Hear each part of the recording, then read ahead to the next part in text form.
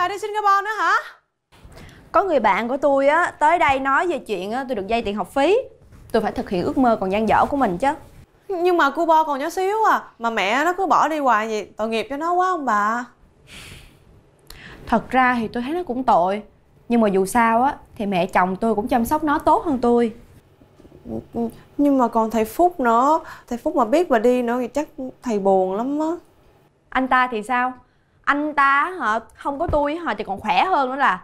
Mà tôi dặn nè. Bà hả nhất định không có được nói chuyện này cho anh ta biết nghe chưa? Nhưng mà không nói thấy tội nghiệp thầy Phúc quá Tôi đã nói rồi mà.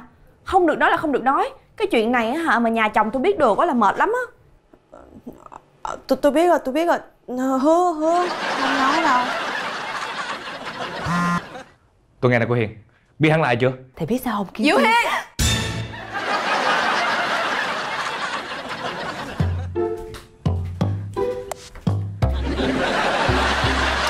Bà đang làm gì vậy?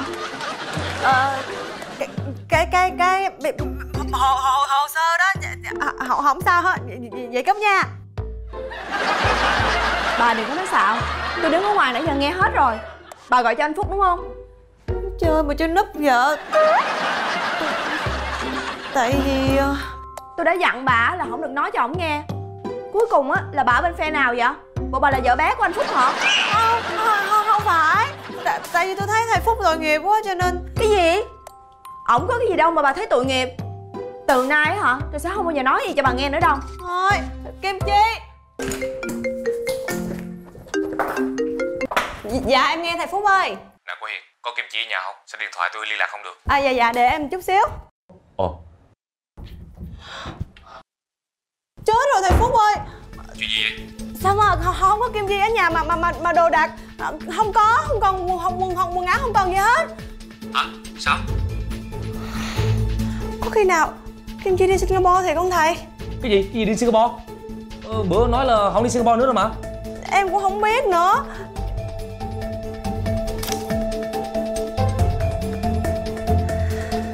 Đúng rồi thầy ơi chắc chắn là kim chi đi singapore rồi Tại sao cô chắc chắn như vậy? chết rồi thật ra là kim chi có nói với em là kế hoạch kim chi quay lại singapore nhưng mà kim chi không có dám nói cho thầy biết. Cái gì vậy? Không lẽ cô nghe lời cổ rồi không nói cho tôi biết? Dạ không có. Tại vì kim chi có hỏi em là sao mà cái gì của thầy á, em cũng biết hết trơn vậy em cũng giấu nữa. Có phải em là vợ bé của thầy không? Em ngại quá cho nên là em không có dám nói. Trời ơi là trời dạ kim chi có nói với em là kim chi bay đi singapore lúc ờ, 10 giờ 30 á thầy. Bây giờ còn kịp thầy, thầy đi lẹ đi thầy. Ờ, ờ, ờ, ờ.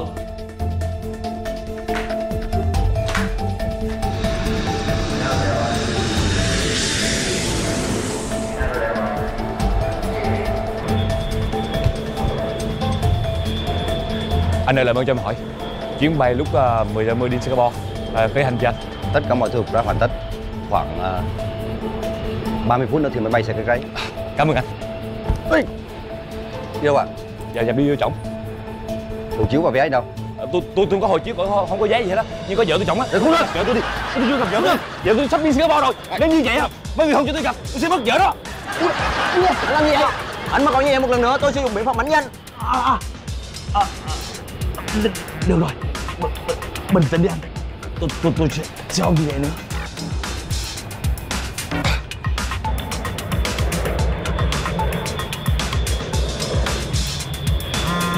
làm gì vậy? Anh làm gì? Vậy? đừng nghe điện thoại.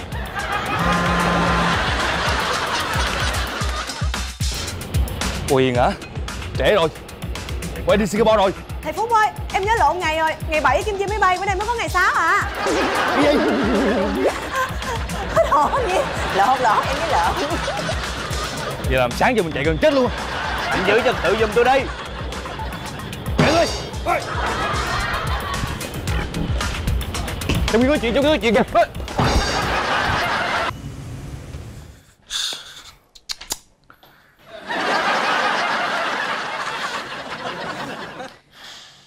Em xin lỗi thầy phúc tại em mà bây giờ ngày mai lên máy bay rồi. Gọi đi tắt máy. Chắc là cô ta đi. Đi tới nước ngoài đó rồi. Chắc vậy rồi quá thầy. Thì quá đáng. Phải chặn họ lại mới được. Cô làm cái gì vậy Dạ em gọi cho tổng đài Dạ alo chị ơi Chị ơi, chị cho em hỏi là là, là ngày hôm nay á có cái, cái cái hành khách nào tên là Kim Chi đặt chuyến đi Singapore không chị? Dạ chị chờ em một chút để em kiểm tra Dạ dạ. Chào chị, không có ai là Kim Chi đăng ký chuyến bay Singapore lúc 10 giờ Chỉ có Kim Chi đăng ký chuyến bay lúc 6 giờ chiều nay mà thôi Hả? Kim Chi đăng ký chuyến 6 giờ chiều nay hả? Ủa, 6 giờ Chết, chết, chết tôi rồi. Em cảm ơn chị. Ủa, thầy Phúc đi đâu vậy thầy Phúc?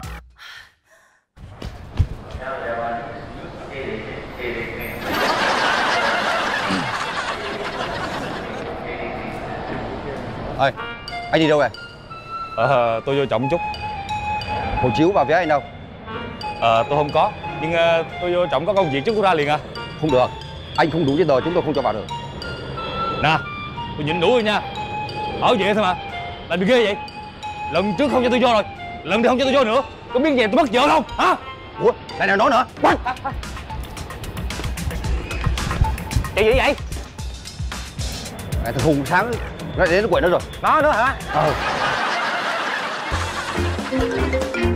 Alo thầy Phúc hả? Gặp Kim Chi chưa thầy? Xin lỗi lúc nãy cô có hỏi chuyến bay của cô Kim Chi. Do máy tính gặp sự cố cho nên cho thông tin sai. Thật ra cô Kim Chi đã đặt chuyến bay lúc 10 giờ sáng mai Hả?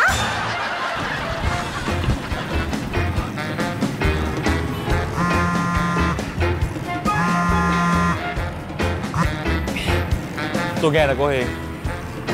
Tôi trễ rồi. Tôi hết hy vọng rồi cô Hiền ơi. Cô nói cái gì? Sự cố máy vi tính. Gì mà kỳ cục vậy? Nói gì cũng nghe được hả?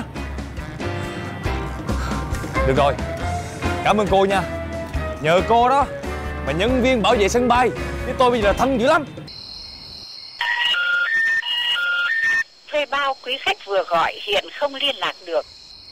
Cô này. Muốn đi đâu đi hả? Không thèm nói với mình hả? Tưởng mình là ai chứ? Đi đâu đi đi.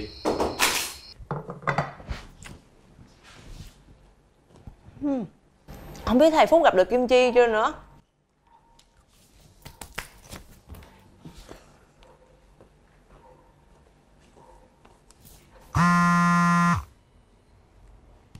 Tôi nghe nè, Thầy Phúc, thầy gặp được Kim Chi chưa thầy? bây giờ là mấy giờ rồi?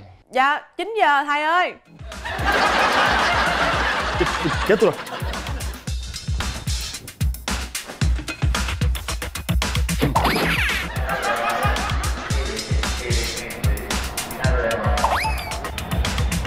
Hả? Kim Chi Chết chứ tôi